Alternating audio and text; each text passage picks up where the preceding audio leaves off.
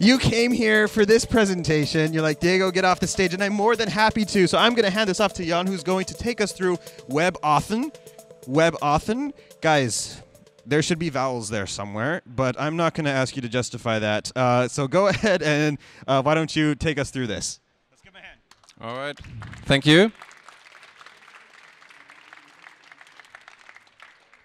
So I'm going to do to talk about passwords and the new web authentication thing.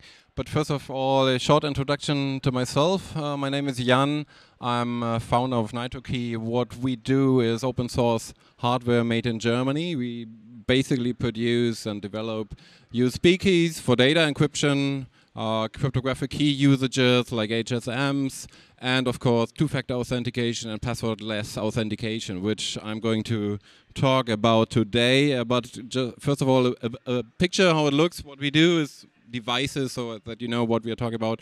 USB devices, USB keys like this, but not ordinary thumb drives.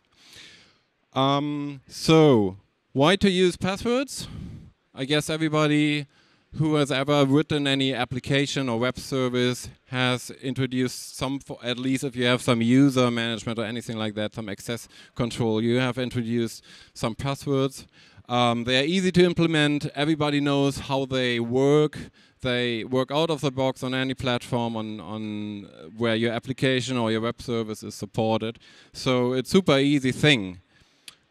So why not to use them? There are a few reasons. Um, we all are aware that they are inherently insecure, or at least it's hard to make them secure. So it's easy to use them insecurely. Say you share an easy to remember password among a couple of services, but it's insecure. So what you are going to do to have it more secure is to have a longer passphrase individually for each service, which you can't remember then anymore if you use more, say, than 10 services.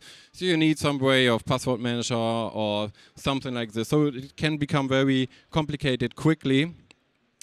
Um, it doesn't scale. And uh, you don't have any form of phishing protection, which uh, is, is, a threat uh, we can address by more modern methods like WebAuthn, I'm going to talk about soon. And uh, one thing I'm I want to highlight is convenience. So usually when we talk about security, making things more secure, it comes with a trade-off of usability. So often it's like, do you want to have something secure or easy to use? And I think here, now we are at a point, and in 2019, we are at a stage where we can have a solution which is more secure and more easy to use than before. And I think this has a, in the long term, can be a very effective, very huge leverage. So after, say, kind of after passwords or an add-on to passwords or one-time passwords, uh, which uh, you can use with Google Authenticator. This is one of the most popular forms of using one-time passwords. Um, it's supported by many of the large websites by today. Uh, you can have clients on every platform. You can have USB security keys to use one-time passwords as well. Um, the setup is, or the, the architecture is based on a shared secret among the client and the server. So it's not super modern. Also, this standard is goes back, say, 15 years ago about. Uh, and how it works is basically it's a hash which is calculated over the time and this shared secret so that then once um, um, a, a, client logs in to a server, the client side can do the calculation and the server can do the same and do the comparison. So it's, mm, well, not so super easy to use. It's good and easy enough for us to use it, I believe, but maybe not for every average computer user, say my mom, so to speak. Uh, because you usually need some way of additional software, as I said, like Google Authenticator or some other things. And you don't have any form of phishing protection.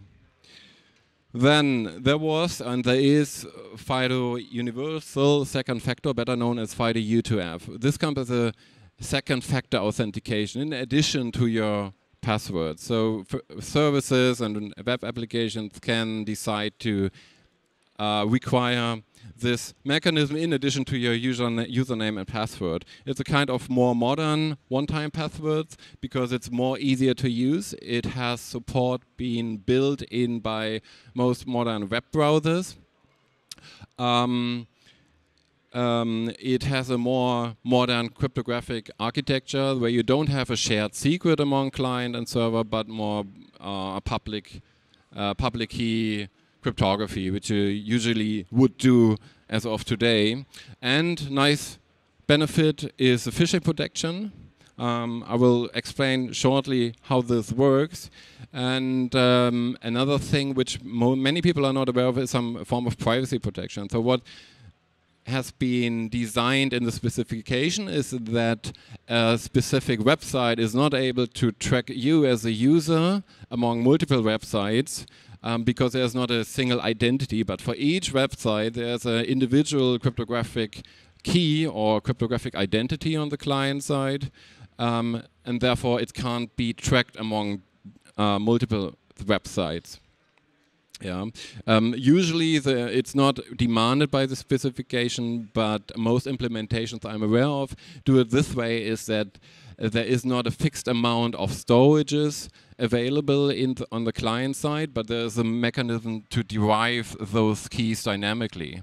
Um, um, when I talk about this key, I mean the client-specific key is derived dynamically on the context. Therefore, you can use it with an unlimited amount of websites or, or accounts.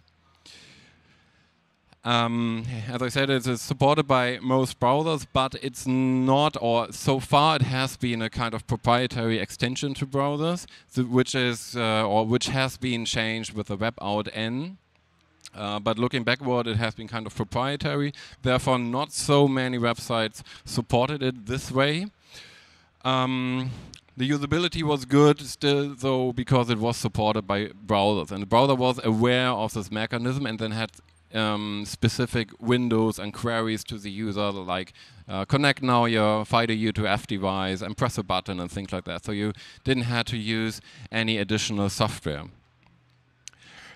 Uh, how it works, I'm, I'm not going too much into detail here, though even you, I think you, you can't read it very well, but just on a high level, you have um, um, this high level flow, you will see over all the other FIDO mechanism I'm going to talk about. So on the right side, you see the server. Do I have a pointer here, by the way? Here. Here's a server, which sends and we have a web browser and we have a FIDO device like a FIDO dongle, perhaps a USB dongle or Bluetooth dongle. So the server sends a, uh, sorry, here we are in the registration process. So this is the initial registration of a user who wants to add his FIDO U2F device to his account. Uh, it's not the login procedure yet. So what the server does, it sends basically a, a challenge and its own ID. It's called origin, which you can think of kind of as the domain name. It sends this to the browser. The browser verifies this origin or app ID, um, which is effectively the phishing protection.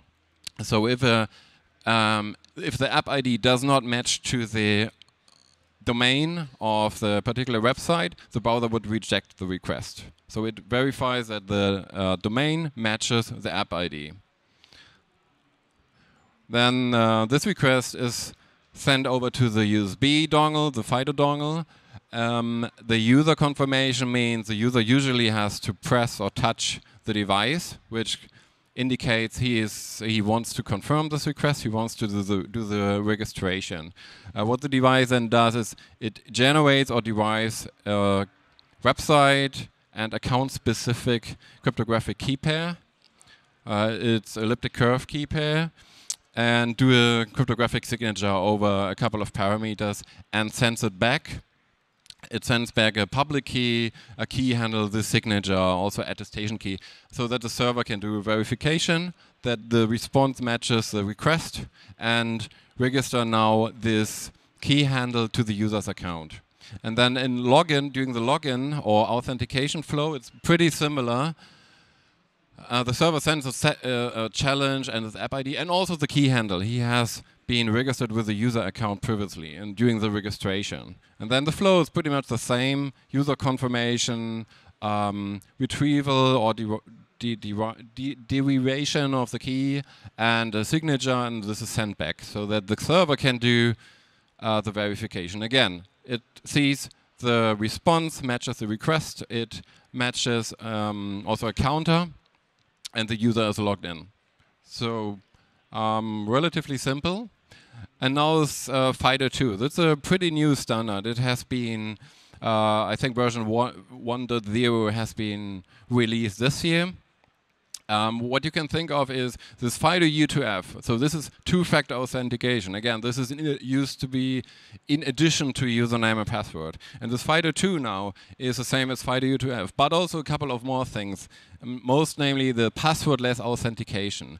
And this um, can become very interesting because with this passwordless authentication, you as a web developer, app developer, can replace username and password. Or first of all, you can replace passwords so that a user does not need to remember any specific uh, password for your for his account or for your website. Uh, what he usually would remember uh, or what we require to remember is a device-specific PIN, and this can so device. When I talk about device, I'm talking about a FIDO device, and this device-specific PIN can be or is in unique for the device, and has nothing to do with a specific website. So you a user only need to remember one PIN and not hundreds of passwords anymore. And it can be short, short thing. It doesn't need to be a long passphrase. Um, username-less authentication is some very similar to the passwordless authentication, um, with a different that, uh, so to speak, the username is also provided by the server, so that the user does not has to even enter his username. It only needs to deal with this FIDO device to log in, and the username is then provided to the server. Um, uh, the, it's possible to use it in theory with different types of devices. USB dongle is one type, a TPM or some biometric um, built-in or external device or other options within this FIDO2 standard. And it, uh, it's primarily written for the web, but not necessarily um, exclusively for the web, so it can be also used for apps or local native applications. Um, usability is great. Um, going to talk about this later. Acceptance, as of now, is quite poor. I'm aware of Microsoft, who has the most um, acceptance on, first of all, on Microsoft Web Services, and second, on Windows 10 local machine login. So it's very neat uh, because people don't need to remember um, password to access their local computer anymore, but can log in with a FIDO device or FIDO2 device. And beside of Microsoft, I'm not aware of any um, website or service which which supported by now. But I think this will change uh, very soon. Um, now, what is WebAuthn or web authentication? WebAuthn is, is, is short. It's, it's th this diagram should explain it a little bit better. When we have the server and the browser, the web authentication specification defines the API um, on the browser side, which you as a website developer would use. Um, behind, kind of behind this WebAuthn are these FIDO U2F or FIDO 2, which are were, were renamed in CTAP 1 and CTAP 2. And that's a protocol between the browser and uh, say the USB dongle or built-in TPM functionality of the laptop. Um, so WebAuthn is kind of the, um, the, the, the, keyword to, to address all of this. And it's uh, not just specified in 2019 this year, it's also implemented by all large web browsers. Um, even Safari, the latest version, uh, implemented it just just a few weeks ago or something like that, a few months. How it works? First of all, I have to check the time. Um, I'm again, I'm not going to talk about this in in, in very detail, but you see from the bird view, it's a very similar flow to the FIDO U2F flow, with a uh, of course, a few changes.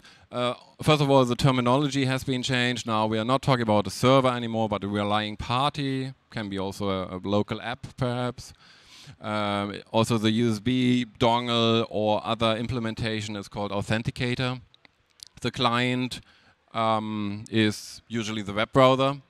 then the request um, has more options. So the relying party or web server can uh, specify um, certain parameters what he wants from the authentication. This um, has a beauty that uh, the server can decide on the particular use case what he wants. Perhaps um, for login, it won't just um, say a fingerprint on the device, but if you go to some um, on the website to some certain high security areas or so, perhaps you want to have a second login, perhaps you want to have a, um, some biometric verification or something like this. So the web server has a possibility to request whatever he wants even after the initial login through this parameterization. Um, so for the registration, again, this is um, registration means when a user wants to pair a FIDO2 device with his user account. Um, the, here again, a couple of parameters. Uh, we have kind of phishing protection by the browser who verifies the relying party against the origin. Um, we have now here hash is calculated, which is more detail. And then we have a user confirmation or verification. Um, this sounds pretty much the same, can, but in practice can be different things. Um, a confirmation usually means there has to be a confirmation, like pressing a button that the user really wants to approve and wants to execute this operation. Usually this login operation, or in this case, a registration operation. But the user verification is on the WebAuthn describes something different. It's more like verifying that the user is really the user he he claims to be. And depending on the FIDO2 device, there are different mechanisms to ensure the verification. It can be entering the device pin I mentioned earlier. It can be um, using some biometrics like a fingerprint to verify that the user is really the user. Um, the, the, the say, the owner of the FIDO2 device. Uh, then again, a cryptographic key pair is generated, a signature is calculated, and the response is being sent back to the relying party who does the verification. And then the actual login procedure um, or authentication looks again similar. Here, first and second factor refers to second factor refers to FIDO U2F mechanism, and the first factor refers to passwordless authentication. So actually, it's not just the first factor, like a password is more a first and second factor. But the flow is uh, very much similar. Um, it the difference are only the parameters. This is why it's here combined on a single slide. Um, the relying party sends a challenge, a name of the relying party itself. The browser again does a phishing uh, uh, protection by verifying the relying party against the origin. Um, perhaps some credentials or um, the parameter of whether user verification is required or not is, is transferred. And again, the authenticator does whatever is re required to log in, say requiring just press of the button or some pin and then the response is sent back to the relying party who does a verification against the uh, key pair which has been registered with the user account in the previous step, in the registration step. So for username-less authentication, the main difference is that here on the client side, the think of it as a web browser. The web browser um, would show to the user a kind of user interface, a kind of window um, where the user can select the identity he wants to use to log into this particular website. So yes, there is um, a username involved, but it's not involved on the website anymore. It's only client side. So the brow it's a native window of the browser. Um, I, I think this feature by now is only supported by Google Chrome. I'm not sure about this. So this is kind of um, more advanced features of WebAuthn. Earlier I said all major browsers do support WebAuthn, which is true, but I think those um, more advanced features are not supported by all. Uh, I hope this is going to change. Then the user selects which ID he wants to use to log into this particular website, and then the similar flow is executed as previously. Um, here, in the response, the web servers or the relying party also gets the username, of course. The username he the user has chosen here. Now, uh, what to use? Um, this kind of summary slide. Uh, pretty much my last or second last slide, so that we may have a minute for questions, perhaps. Um, I think password authentication is for simple projects, for pro projects without any security focus. I think there will be a shift uh, among the ecosystem that more and more websites and apps are moving to one way or the other of this WebAuthn authentication mechanism so that the um, acceptance or uh, what user actually demand from websites is going to shift towards a WebAuthn based authentication for security critical or on users view for their important websites. So OTP I won't recommend to implement uh, anymore. It's if it's there, it may be good and may be sufficient, but I won't recommend you guys to implement it in any uh, new projects anymore. But instead of o uh, OTP, use either WebAuthn with second factor, so FIDO-U2F, or use what I described this as passwordless authentication or even username-less authentication. Um, however, this requires more implementation effort. There are not there are some a couple of um, of libraries available, say at GitHub or somewhere else in the in the internet you can use depending on your programming language, but there are not so many. So it's still some pioneering if you're going to implement it. Uh, and also if you're looking at um, this passwordless authentication, key, um, make sure that the web browsers your user or customers use uh, really support this. So here we have a couple of references. Um, the first one is can be very helpful for OTP, but also for out, and it provides an overview of um, uh, popular and non-popular of, a couple of hundred websites and provides an overview which type of mechanism they are going to support. With mechanism, I mean either OTP or WebAuthn slash uh, FIDO mechanism. So this can be a good starting point if you want to decide as a user uh, which uh, secure authentication mechanism you may want to use.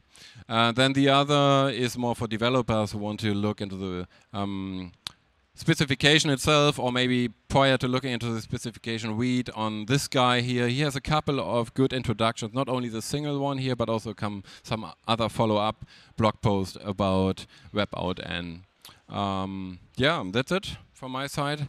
Do we have time for questions?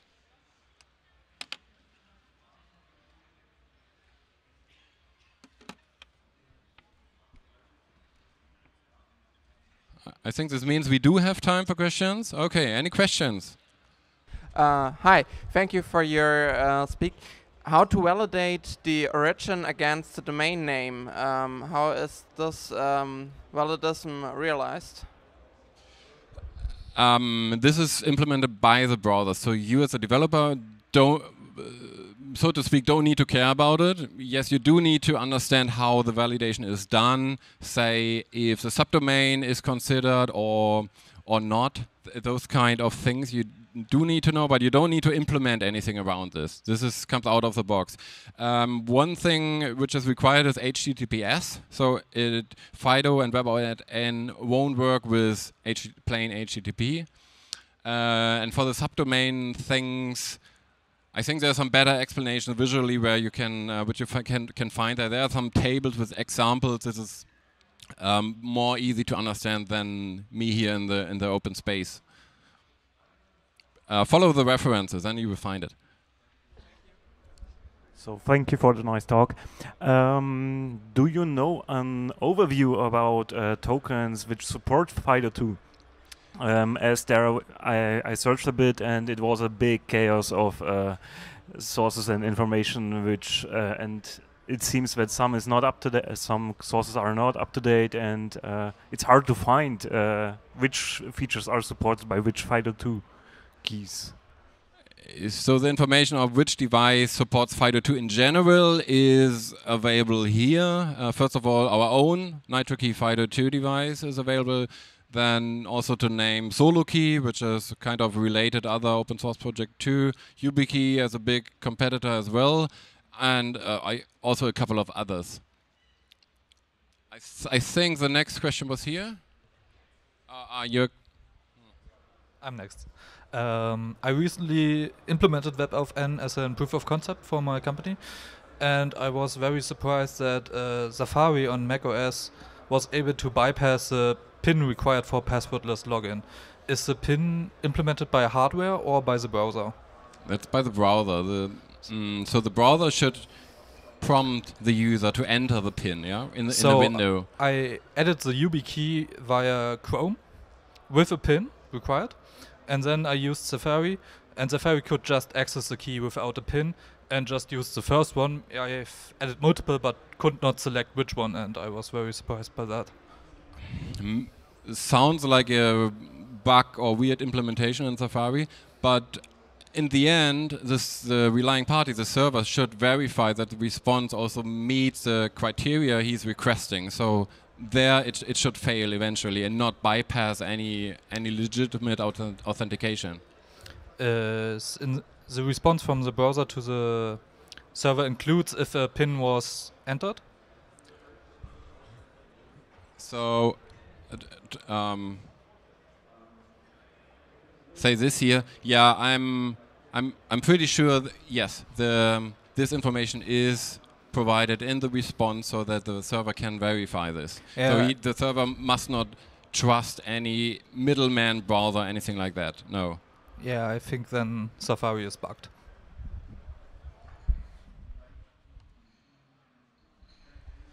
Um, talking about uh, business solutions, um, is this uh, fully uh, supported uh, in a business environment where the user is uh, on a thin client or something, uh, a small device, uh, then remotes into a, a servers, for example, um, that the FIDO2 or similar solutions are passed through, and is there some limitations?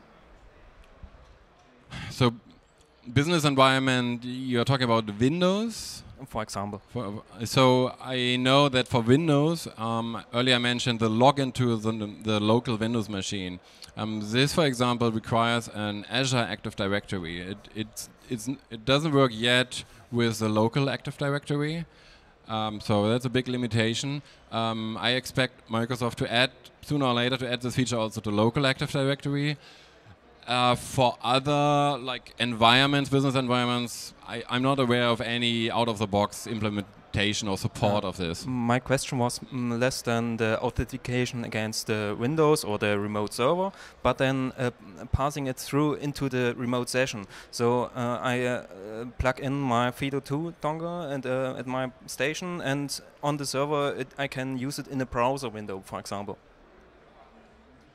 Um, is so you would need a way to pass through the USB device to the client session. So it's, it's just a normal USB device, not like a special funky like smart card or something. That's right. Um, it's a norm, very ordinary USB, USB device. It goes as USB HID class, human interface device, where also mouse or mice and keyboards are uh, assigned to this USB class. So that's a very default USB class.